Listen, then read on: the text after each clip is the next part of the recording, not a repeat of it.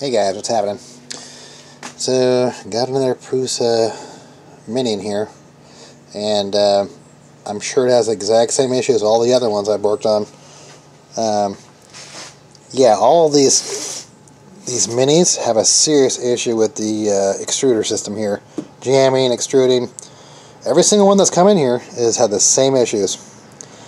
Um, so I think the cause or the core issue is this it's a combination of this single drive extruder. You only grips it from one side, right there. So you need to be able to grip this from both sides. You need a dual drive extruder. That's one issue. And it is gear reduction, so that's fine. Um, and then this design up here, you know, you got to make sure this is pushed all the way up, um, or you have issues, or you, you got to minimize your retraction too. So, um, yeah, so I might design like a Bondtech type setup, dual drive. Like take the gears, um, you know, take take the gears out of this thing here, dual drive, and convert this thing to like a dual drive extruder using Bondtech gears. Um,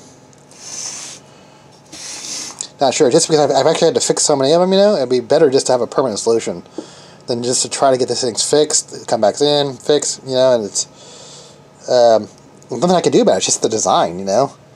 So I don't know.